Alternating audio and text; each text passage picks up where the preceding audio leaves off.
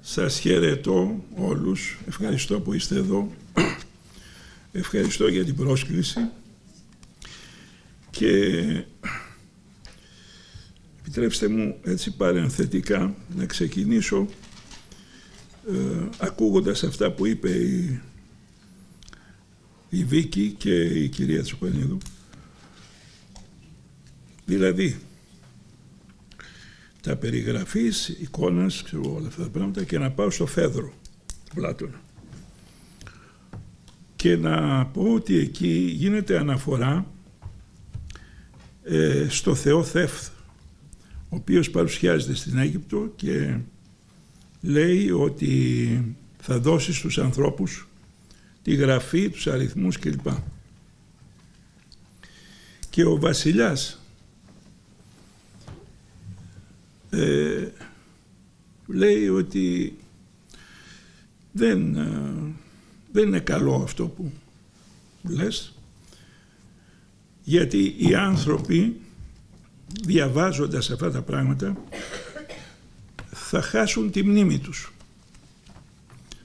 Δηλαδή θα διαβάζουν τις γραφές και λοιπά και θα νομίζουν λέει ότι αυτά που διαβάζουν δικά τους και αντί να γίνουν σοφοί θα γίνουν δοκισοί σοφοί.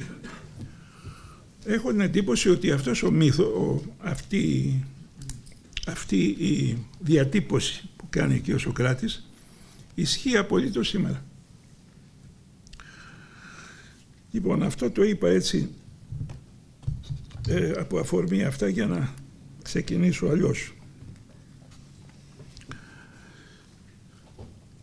Από τα αρχαία χρόνια μέχρι σήμερα έχει περάσει πολύς καιρός.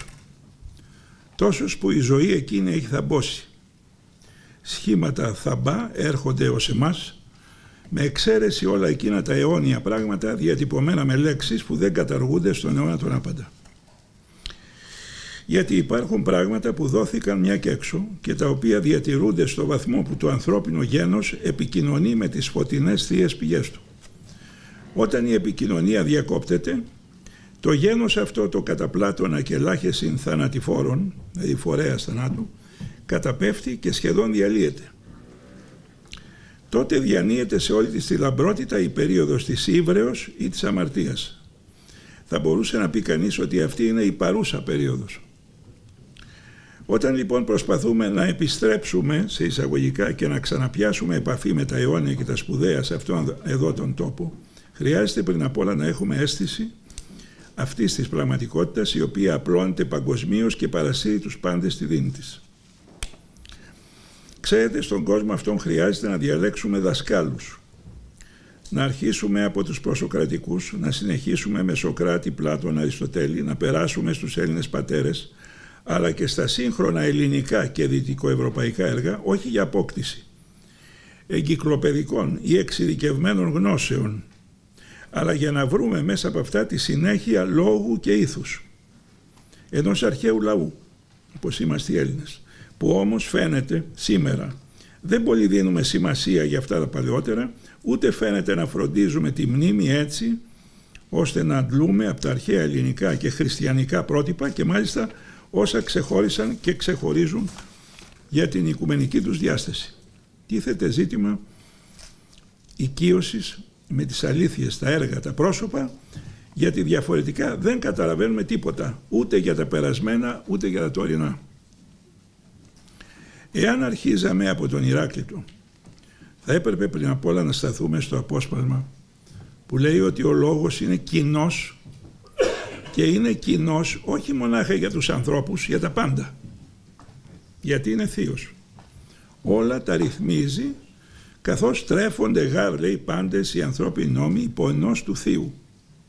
Γι' αυτό εξάλλου λέει ότι ο λόγος είναι αρμονιστής του σύμπαντος.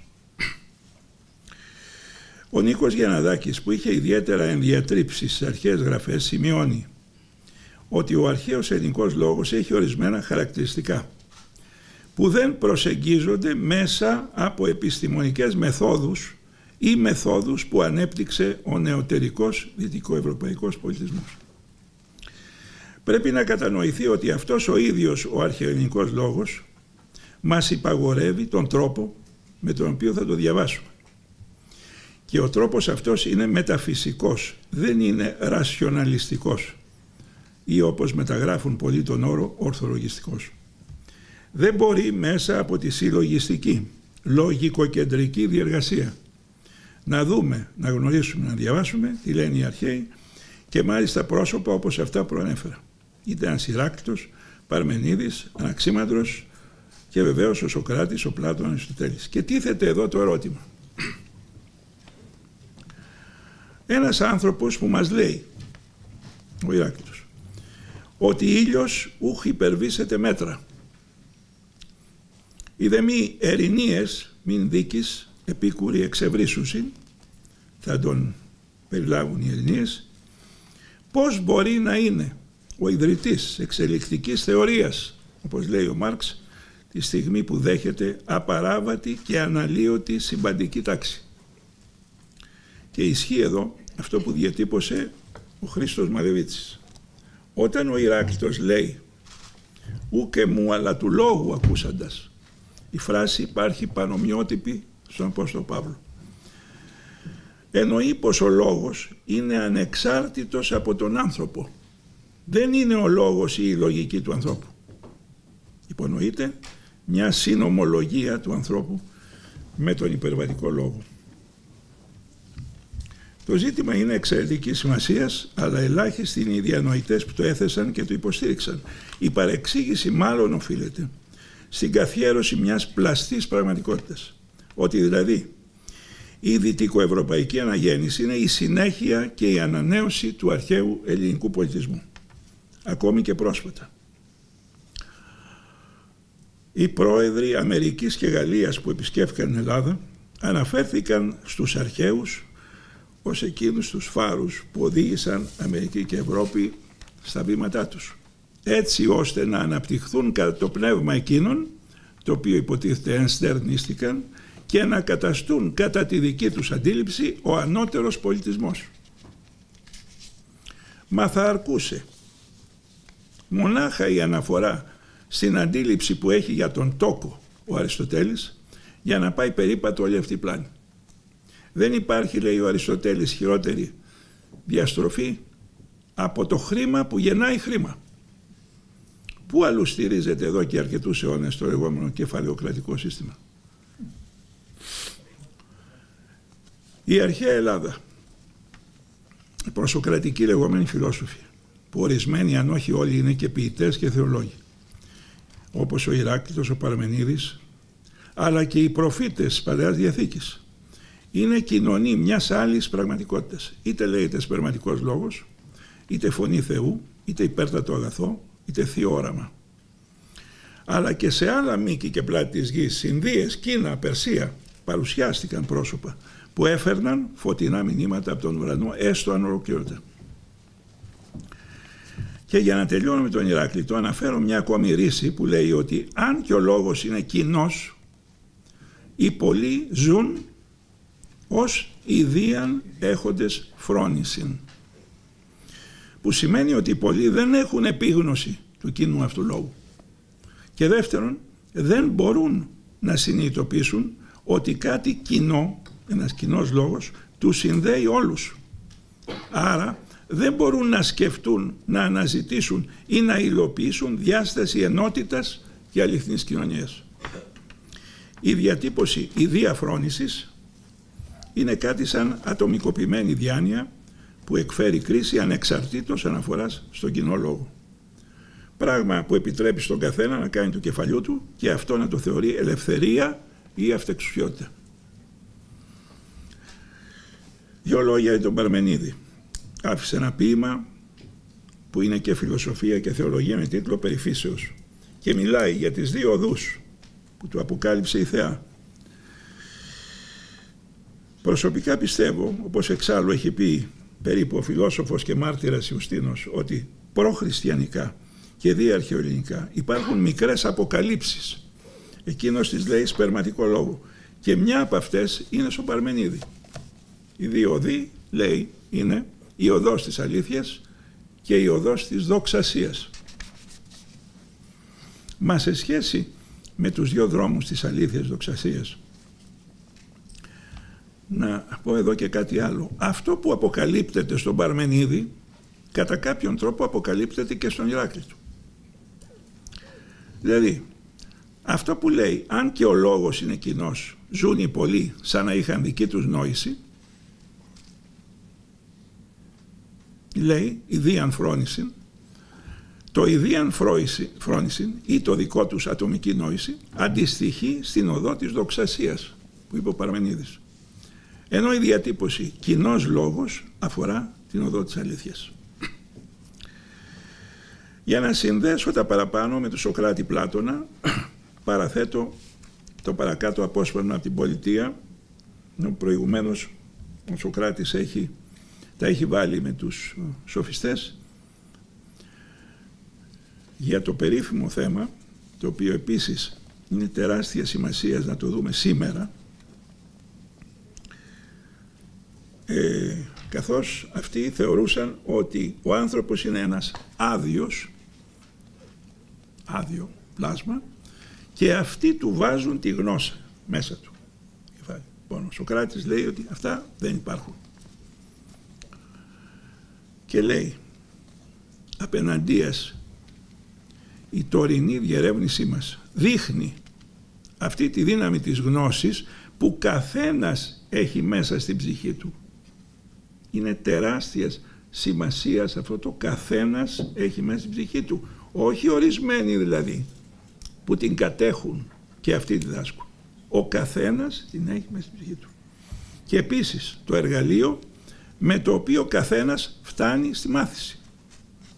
Όπως ακριβώς αν δεν υπήρχε άλλος τρόπος να στρέψει κανείς τα μάτια του από το σκοτάδι στο φως παρά μόνο στρέφοντας ολόκληρο το σώμα και ίσως αναφέρεται στους δεσμότες του σπηλαίου έτσι πρέπει να στραφεί με ολόκληρη την ψυχή από την περιοχή του γίγνεσθε που λέει η Μαρία προς την άλλη πλευρά ώσπου να γίνει ικανή η ψυχή να αντέχει, να αντικρίζει το «ον» και το πιο φωτεινό από το «ον».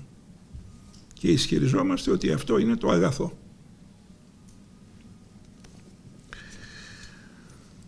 Εάν αυτό, αυτά λοιπόν έγιναν στην αρχαιότητα, μέσα στο πνεύμα των αρχαίων τραγικών, των ανθρώπων που αποκλήθηκαν φιλόσοφοι, δηλαδή εραστές της σοφίας, έτσι, εραστές της σοφίας, και πολλοί από αυτούς και θεολόγοι, Αργότερα, μέσα από το λεγόμενο βυζαντινό πολιτισμό και την προηγηθήσα ενανθρώπιση του λόγου, αυτές οι θείες καταβολές των αρχαίων περνούν, φιλτράρονται, εκχριστιανίζονται και αποκτούν τις πιο αληθινές και σαρκωμένες διαστάσεις τους. Παραδείγματα.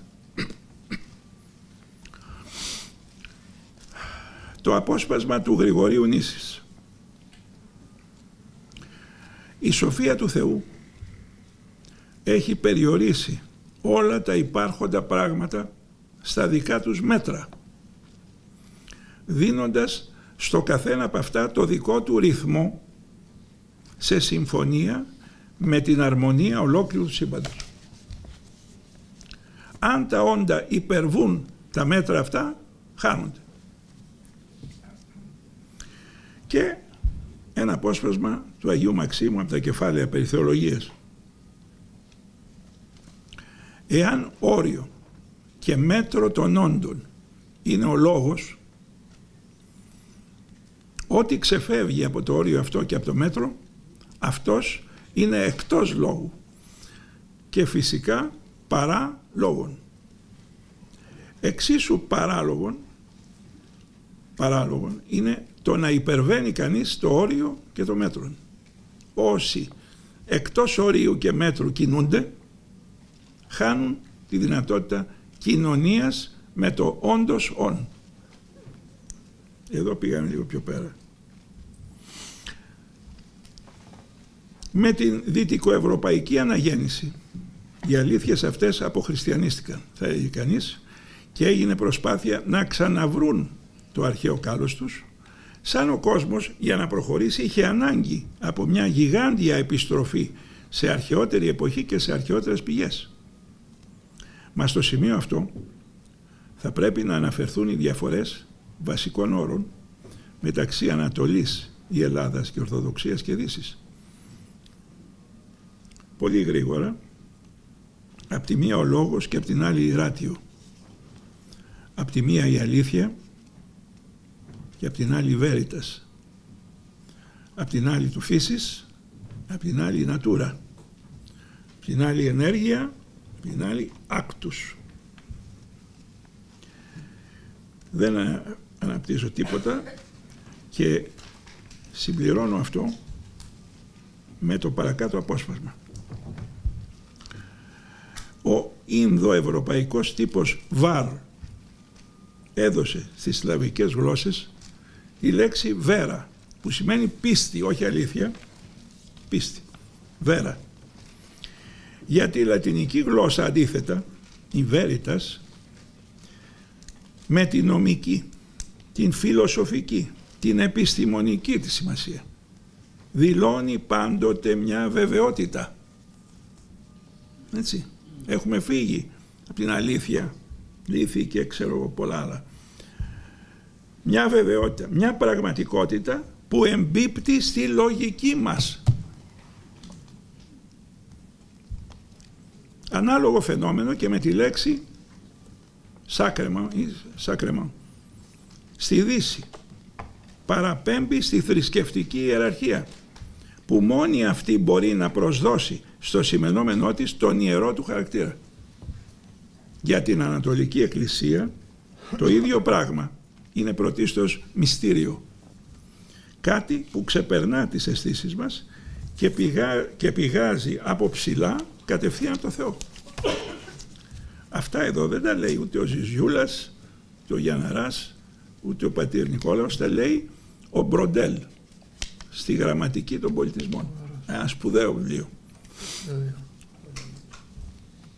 Αυτές εδώ οι παρερμηνίες, οι διαστρεβλώσεις νοημάτων και σημασιών γεννούν έναν άλλο κόσμο και έναν άλλο πολιτισμό. Εκεί γίνονται οι Άγιες. Και αυτό μπορούμε να το δούμε καλύτερα στο ακόλουθο απόσπασμα αυτή τη φορά Ορθόδοξου Ιεράρχη, ο οποίος ζούσε στην Ελβετία χρόνια.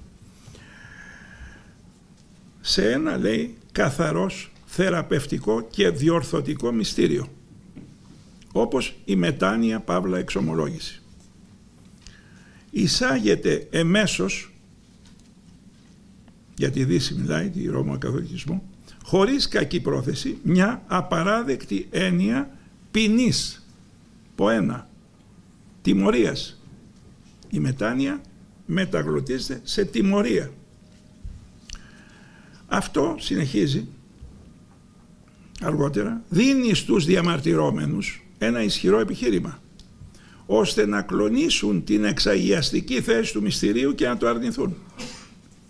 Εφόσον τους ήταν απαράδεκτη οποιαδήποτε επιβολή εξυλαστηρίων έργων από τον εξομολόγο σπινή, οδηγήθηκαν να δώσουν έμφαση στην πίστη και μόνο. Από την άλλη μεριά, η ατυχής και ανεπαρκής απόδοση του μυστηρίου της ιεροσύνης κατεξοχήν θεσμού χαρισμάτων και προερχόμενου από την επιφύτηση του Αγίου Πνεύματος με τον όρο, άλλο τώρα αυτό, ministerium, παραπληροφορεί και εκθέτει στον κίνδυνο να παρανοηθεί η πραγματική έννοια εφόσον το ισοπεδώνει το θέτει στην ίδια μοίρα με λειτουργήματα διοικητικά του νομικού κόσμου. Είναι ένα θέμα το οποίο έχουν επανελειμμένα υπογραμμίσει διάφοροι σπουδαίοι άνθρωποι ότι κόλλησε πολύ η νομική διάσταση με τη θεολογία στη Δύση, πράγμα που δεν είχε γίνει στην Ανατολή. Ε, σύντο χρόνο λοιπόν εδρεώθηκε ένα είδος παντοδυναμίας του ανθρώπου που το επεξεργάστηκε ο διαφωτισμός προωθώντας ταυτόχρονα ένα αντιχριστιανικό και αντικληρικαλιστικό πνεύμα. Δεν έχουμε ακόμα σε αυτή εδώ τη χώρα αξιολογήσει και εκτιμήσει τις επιπτώσεις που είχε στη Δύση διαμάχη μεταξύ Ρωμαιοκαθολικισμού και Ποδιστατισμού. Ούτε το γεγονός ότι εμείς απουσιάζαμε από αυτή τη διαμάχη. Ωστόσο οι επιπτώσεις, όπως και το όλο διαφωτιστικό πνεύμα, απλώθηκε παντού, επηρέασε και τα ορθόδοξα περιβάλλοντα ποικιλοτρόπως. Και στην εξέλιξή της η δυτική κοινωνία σιγά σιγά άφησε πίσω και χριστιανικά ιδεώδη και ιδανικά πανανθρώπινες αλήθειες, βαθύτερες πνευματικές αναζητήσεις και με στήριγμα την ράτιο οδήγησε στο σημερινό πνεύμα που λέγεται η οικονομία της αγοράς ή παγκοσμιοποίηση ή τεχνοκρατική μονομέρεια. Ο κόσμος εκεί που έφτασε σήμερα δεν μπορεί να συνεχίσει παραπλησιάζοντας όλο ένα το βάραθρο της αβίσου. Όταν θεωρείται εξέλιξη και πρόοδος, ύπαρξη ή κατασκευή πυρηνικών όπλων που μπορούν για πρώτη φορά να καταστρέψουν τον πλανήτη, δεν μπορεί κανείς να μιλάει για ανώτερο πολιτισμό, όπως ισχυρίζεται ο Δυτικός, ούτε για ξεπέρασμα των κρίσεων και των αδιεξόδων των σύγχρονων κοινωνιών. Ξεπέρασμα των κρίσεων και των αδιεξόδων δεν είναι δυνατόν να νοείται μονάχα οικονομικά και όλα να κρέμονται από αποφάσεις μεγιστάνων της οικονομίας αλλά κανονικά νοείται η ανύψωση των ανθρώπων σε επίπεδο ιδανικών και σε ανάπτυξη ήθους που να καλλιεργεί συμφιλίωση των λαών, σταθερή αυτογνωσία και υπέρβαση αυτού. Έχει διατυπωθεί, και όχι μονάχα μια φορά, ότι ο δυτικός πολιτισμός συνδέεται πολύ περισσότερο με τη δράση και με το χρήμα από ότι ο ανατολικός βυζαντινός χριστιανικός. Ποιητές όπως ο Πόου, Μποντλέρ, Πάουντ, Σέλεϊ, Έλιοτ, Χέλτερν, Ρίλκε, Νοβάλης, Τράκλ βρίσκονται στους αντίποδες ενός πολιτισμού που κυνηγά την ευτυχία ή την ευζοία μέσα από το χρήμα και τον πλουτισμό. Δεν πιστεύουν ότι ο άνθρωπος κερδίζει ως οντότητα, ως ύπαρξη θεοδημιουργημένη, βγάζοντας λεφτά και δουλεύοντας ασταμάτητα. Εξού και η απολύτως απρόσμενη φράση του Πολυλέρ, γραμμένη κάπου στο 1880 τόσο, η ανάπτυξη λέει του πολιτισμού δεν συνίσταται στο αεριόφως και στον εξηλεκτρισμό αλλά στην ελάττωση των ιχνών του προπατορικού αμαρτήματος.